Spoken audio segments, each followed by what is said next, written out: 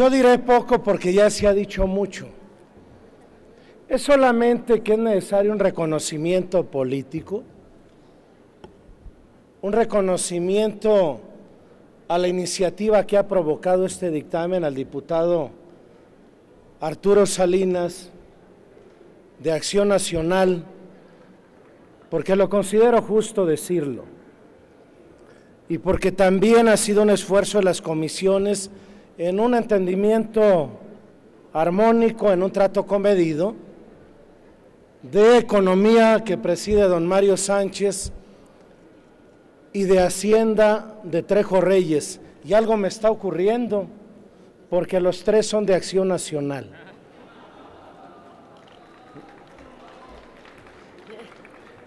El dictamen es importante. Fíjense ustedes que deroga, reforma, adiciona algunas disposiciones, son cinco ordenamientos.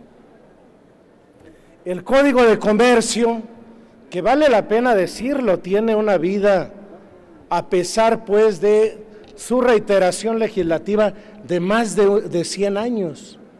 Es el Código Lares.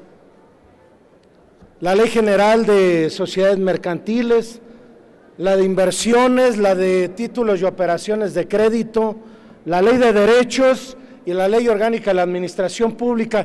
Y diré poco, he señalado, porque el verde, por supuesto, el grupo parlamentario va a votar a favor, porque abona en generar condiciones para una mayor modernización, condiciones de inversión, pero particularmente para pequeñas y medianas empresas que representan cerca del 80% del empleo que se genera en este país. Y más de la mitad de la riqueza nacional viene de ahí.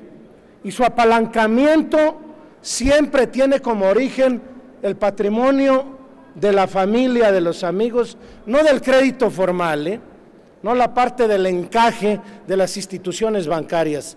Y digo que es útil por razón de que, por una parte, reduce los costos de las publicaciones que son obligatorias en el marco de la ley para convocatorias de las sociedades mercantiles, estados financieros, otras citaciones.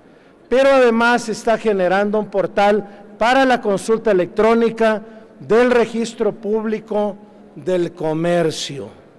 Hay otros aspectos, sin duda, que son fundamentales para dinamizar la economía del país, particularmente para la colocación del crédito. Ya abre una amplia gama de garantías, particularmente, repito, para las pequeñas y las medianas empresas.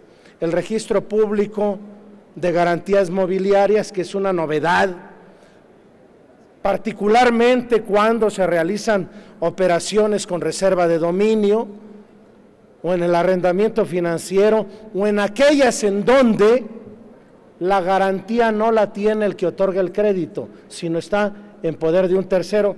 Diré finalmente que votamos a favor porque estos cinco ordenamientos están vinculados con actividades mercantiles, con el propósito de modernizar, de dinamizar, y para algunos es esto de mayor competitividad. Yo digo, para mí es una abstracción porque la competitividad son condiciones objetivas específicas que dan condiciones para la inversión, para la generación de empleo.